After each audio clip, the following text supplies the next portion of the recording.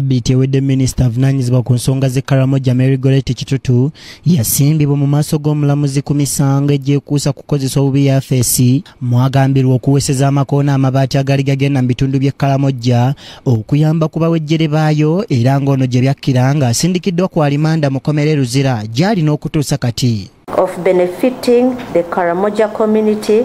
empowerment program to her own benefit and to the benefit of third parties having reason to believe that such act would result into loss of the said public property. Ayogerera ekitongole ky'amakomera frank baine bw'ati avuddeyo n'ategeeza nga minisita ono bw'ali mu mbeera ennungi mu kkomera gy'ali kyokka n'asambajja ebiyitiŋŋana nti ono ayisibwa era mu ngeri ya kikungu nga baine agamba nti mu kkomera eyo tebalinayo kitundu we basibira bakungu na batali honarebo kitutu ali luzira women oba luzira mukomere ly'abakyala talina mutawaana talina kirwadde kyonna era talina nakwemulugunya kwonna. Abadde balowooza nti anti anti anti atandise okusiiba tayagala kulya lw'obusungu ebyo bya bulimba. Sitole zammwe amuleke omusibe waffe atambuze obusibe bwe n'emisango gye n'abalala abalowooza nti anti eri waliyo vip mukomera temubeera vip ekkomera libeera ki? Komera kirungi nti yeeyisiza bulungi naffe tumuyisa bulungi ngaabalala ku nsonga y'emu ey'amabaati g'ekkalamojja ayogerera poliisi kuno fred enanga ategeezezza nga bwe bamaze okukola alipoota ku mabaati agaalina okutwalibwa okuyamba abawejjere mu bitundu by'ekkalamojja nga kati batunuulidde kugikwanga mu waabi wa gavumenti omukulu okusobola okugenda ku mitendera egiddako. Sinziira nga okunoonyereza we kwali kutambula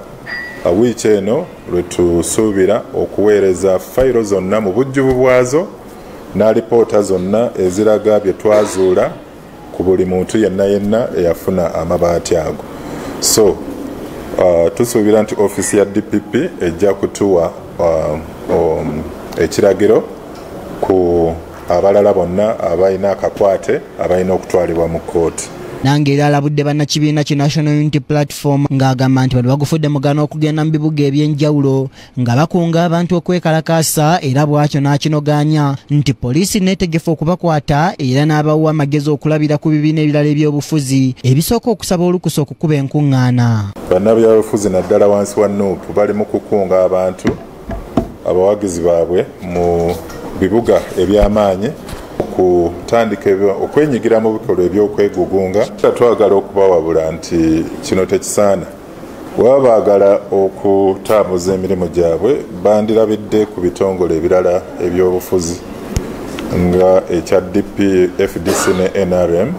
bituukirira poliisi buli kaseera nga birina enteekateeka zaayo. So si kutambuza nteekateeka zaabwe wabweru w'amateeka. Kubanga tulina etteeka erifuga enkuŋŋaana mu ggwanga wano